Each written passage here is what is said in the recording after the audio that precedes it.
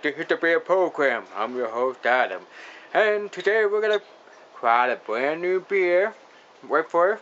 It's out today at the brewery right now, and we'll be rolling out in the LCBO and the beer store in the next few weeks.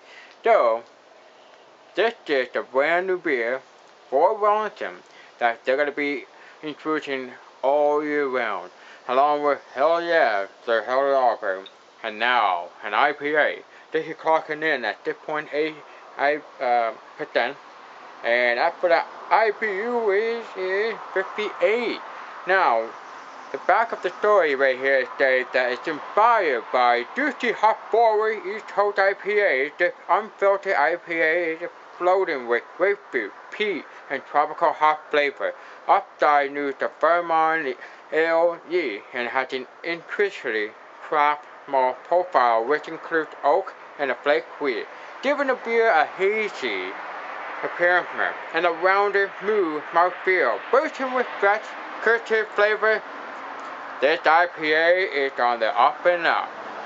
So, this is the Upside IPA.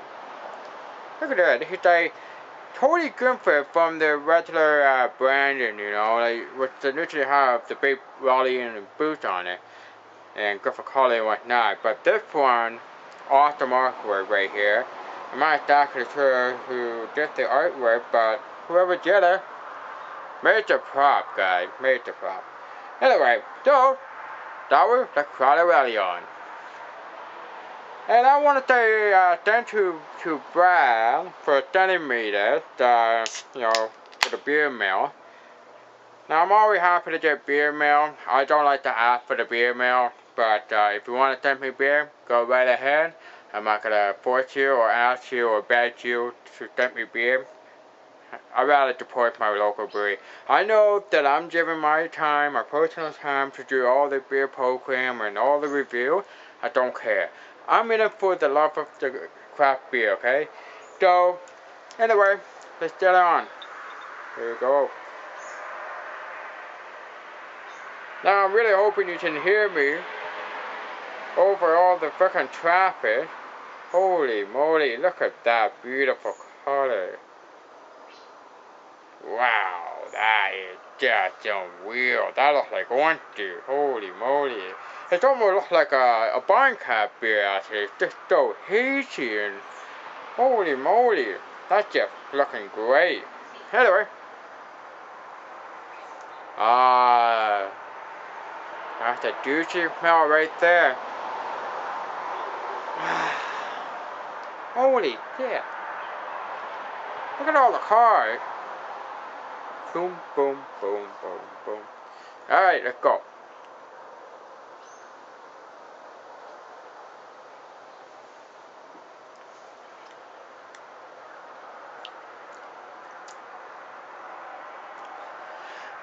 That's one hell of IPA.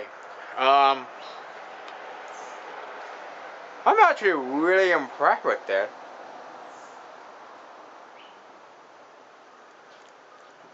pineapple, mango, a lot of tropical going on.